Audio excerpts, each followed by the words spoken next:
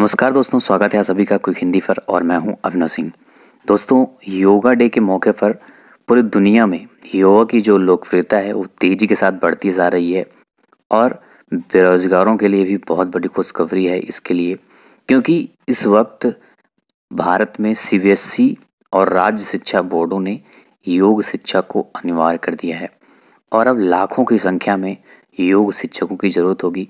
बहुत सारी संभावनाएँ हैं योगा के क्षेत्र में, क्योंकि पूरी दुनिया में योगा जिस तरह से लोकप्रिय हो रहा है, उसको देखते हुए भविष्य में बहुत सारी संभावनाएँ हैं योगा के क्षेत्र में। तो आज इस वीडियो में उसी के बारे में डिस्कस करने वाला हूँ कि क्या क्या संभावनाएँ हैं योगा के क्षेत्र में, अब क्या क्या फ़ायदा होने वाले हैं। स्वस्थ तो हम रहेंगे ही, उसके साथ साथ हमें पैसे भी मिलेंगे उसके बदले में। तो चलिए फिर आज का वीडियो शुरू करते हैं। तो सबसे पहले आपसे बता दूँ कि अब नौवीं से बारहवीं तक वैकल्पिक विषय के तौर पर हर दिन योग की कक्षाएँ चलेंगी।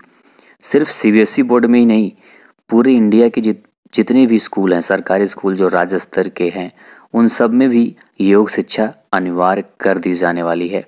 बहुत जल्द इसकी घोषणा भी हो जाएगी। ह्यूमन रिसोर्स डेवलपमेंट जो मंत्रालय है इंडिया की प्लानिंग कर रहा है कि पूरे इंडिया के हर स्कूल में, छोटे से लेकर बड़े स्तर तक योग शिक्षा अनिवार्य कर दी जाएगी। तो योग बहुत ज़्यादा ज़रूरी है क्योंकि योग से पूरा देश स्वस्थ रहेगा। तो आने वाले दिनों में बड़ी संख्या में योग शिक्षक के रूप में नौकरियाँ मिल सकेंगी। सिर्फ़ शिक्षण संस्थानों में ही नहीं, बल्कि कारपोरेट कंपनियों और हॉस्पिटल्स में भी योग प्रशिक्षकों की ज़रूरत है। क्योंकि हॉस्पिटल में जानते हो ना, अब दवा से ज़्यादा एक्सरसाइज की ज़रूरत है, योग की ज़रूरत है। अगर योग रेगुलर जो कर रहा है, उसको कोई बीमारी तो होना मुश्किल है।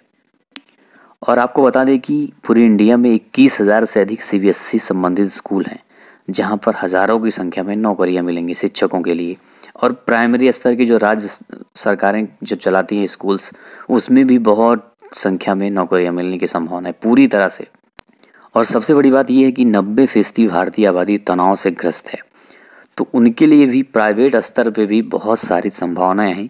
उसके ज़रिए से बिज़नेस भी किया जा सकता है। प्राइवेट ट्रेनिंग सेंटर खोलकर बहुत सारी योग की संभावना है अगर कहीं भी ट्रेनिंग सेंटर अगर खोल जाती है योग की तो लोग उससे हंड्रेड परसेंट जुड़ेंगे ही। क्योंकि हर कोई चाहता है स्वस्थ रहना, हर कोई योग सीखना चाहता है, योग करना चाहता है। और पचासी हज़ार करोड़ से पार हो चुकी है योगा इंडस्ट्री भारत में। तो इससे आप सोच सकते हो कि योगा इंडस्ट्री कितनी तेज़ी के साथ बढ़ रही है, भविष्य में इसकी क्या संभावनाएँ होने वाली हैं, खुद सोच सकते हो आप।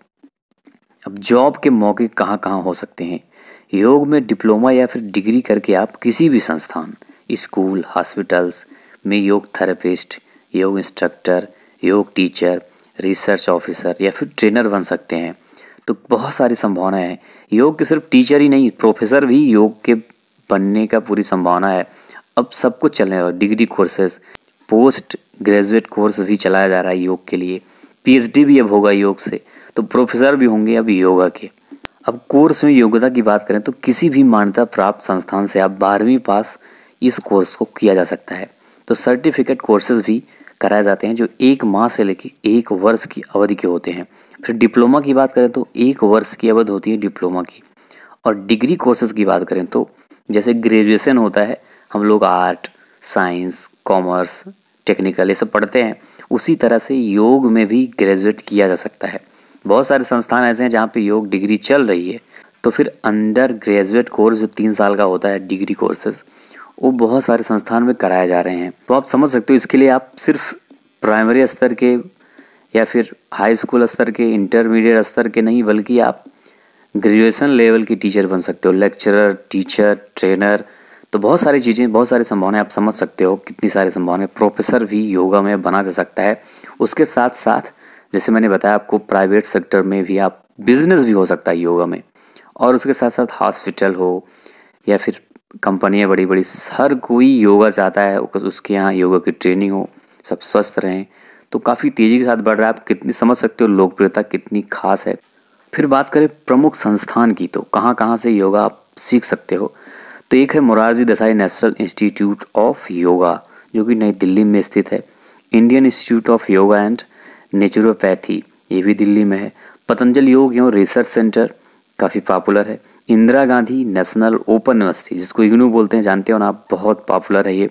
डिस्टेंस एजुकेशन के ज़रिए से भी आप योगा का डिग्री ले सकते हो। आप सर्च करोगे तो सब कुछ मिल जाएगा उसके बारे में। बिहार योग भारती करके है एक, जो कि मुंगेर में स्थित है। तो ये सारे प्रमुख संस्थान हैं जहाँ से आप योगा के कोर्सेज कर सकते हो, वहाँ के सर्टिफिकेट भी कर सकते हो डिग्री भी कर सकते हो। तो बहुत सारे कोर्सेज हैं। आप पता लगाओगे तो बहुत सारे कोर्सेज मिल जाएँगे उसके लिए, योगा के लिए।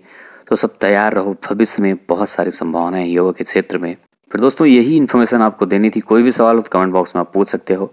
और वीडियो पसंद आई तो लाइक करना। और जो लोग अभी तक मेरे चैनल को सब्सक्राइब नहीं किए हो तो सब्सक्राइब करके बेल आइकॉन ज़रूर प्रेस कर देना। फिर मिलते हैं नेक्स्ट वीडियो में, तब तक के लिए जय हिंद, जय भारत।